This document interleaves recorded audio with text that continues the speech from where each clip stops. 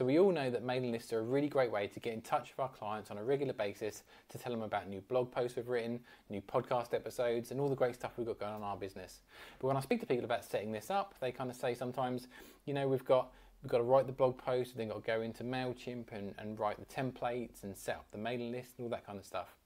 Well, did you know that with a little bit of work up front, we can set up the RSS feed of our blog um, RSS feed stands for really simple syndication, and it's kind of like the, the back end of a way that we can share our blog posts with other people and applications.